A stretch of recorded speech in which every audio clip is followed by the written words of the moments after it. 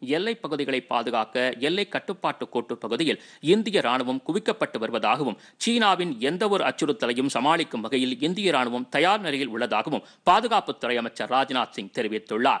லடாக் பகுதியில் இந்திய சீன எல்லை விவகாரம் தொடர்பாக நிலவும் சூழ்நிலை குறித்து மக்களவையில் நேற்று அவர் விளக்கமளித்தார். சீனாவுடன் தூதரக அளவிலும் ராணுவ மட்டத்திலும் தொடர்ந்து இந்தியா பேச்சு நடத்தி வருவதாக குறிப்பிட்டார். லடாக் பகுதியில் தற்போதைய சூழ்நிலையை இருதரப்பும் பராமரிக்க வேண்டும் என்று கூறிய அவர் அதை மாற்றியமைப்பதில் ஒருபோதும் ஈடுபடக்கூடாது என்றும் தெரிவித்தார். இரு நாடுகளுக்கும் இடையே மேற்கொள்ளப்பட்ட ஒப்பந்தங்களின்படி நடந்து கொள்ள வேண்டும் என்று அவர் கூறினார். தாய்நாட்டை காப்பதற்காக மிக உயரமான இடத்தில் கடும் பனிச்சூழலில் சேவையாற்றி வரும் பாதுகாப்பு படை வீரர்களுக்கு ஆதரவாக அவையில் தீர்மானம் நிறைவேற்றப்பட வேண்டும் என்று அமைச்சர் ராஜ்நாத் சிங் வலியுறுத்தினார். कि चाइना भारत की लगभग 38,000 स्क्वायर किलोमीटर भूमि का अनधिकृत कब्जा लद्दाख में किए हुए हैं। इसके अलावा 1963 में एक तथाकथित बाउंड्री एग्रीमेंट के तहत पाकिस्तान ने पीओके की 5,180 स्क्वायर किलोमीटर भारतीय ज़मीन अवैध रूप से चाइना को सौंप दी है।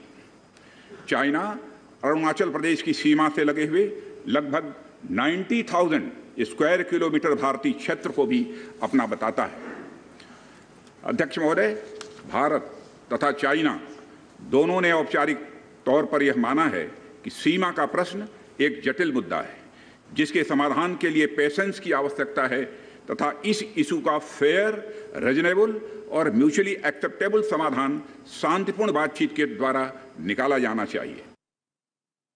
லடாக் பகுதியில் சுமார் முப்பத்தெட்டாயிரம் சதுர கிலோமீட்டர் பரப்பளவிற்கு சீனா ஆக்கிரமிப்பு செய்துள்ளதாகவும் அவர் கூறினார். ஆயிரத்து தொள்ளாயிரத்து அறுபத்தி மூன்றாம் ஆண்டு சீனா பாகிஸ்தான் எல்லை ஒப்பந்தத்தின்படி பாகிஸ்தான் ஆக்கிரமிப்பு காஷ்மீரில் உள்ள இந்திய பகுதியைச் சேர்ந்த ஐந்தாயிரத்து நூற்று எண்பது சதுர கிலோமீட்டர் நிலப்பரப்பை சட்டவிரோதமாக பாகிஸ்தான் சீனாவிடம் ஒப்படைத்ததாக குறிப்பிட்டார். சீனாவுடனான எல்லை விவகாரம் தொடர்ந்து நீடித்து வருவதாகவும் அமைச்சர் ராஜ்நாத் சிங் அப்போது குறிப்பிட்டார்.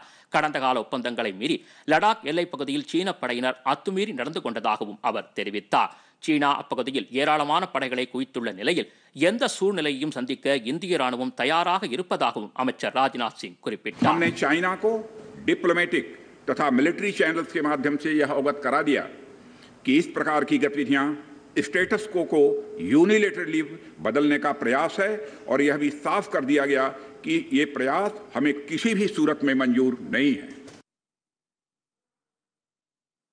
பொதிகை செய்திகளை யூடியூபில் தமிழ் நியூஸ் தூர்தர்ஷன் என்ற சேனலிலும் முகநூலில் டிடி பொதிகை நியூஸ் என்ற பக்கத்திலும் ட்விட்டரில் டிடி நியூஸ் சென்னை என்ற பக்கத்திலும் இன்ஸ்டாகிராமில் டிடி பொதிகை நியூஸ் என்ற பக்கத்திலும் காணலாம் மேலும் உங்கள் கருத்துக்களை Podhigai DD news at Gmail dot com என்ற மின்னஞ்சலில் தெரிவிக்கலாம்